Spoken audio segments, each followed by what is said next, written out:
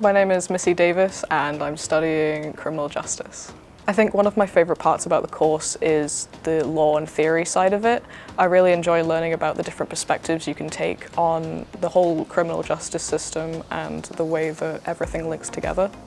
Lecturers um, and like the rest of the staff in the college, they are really great and they try their best to support um, students with everything they can.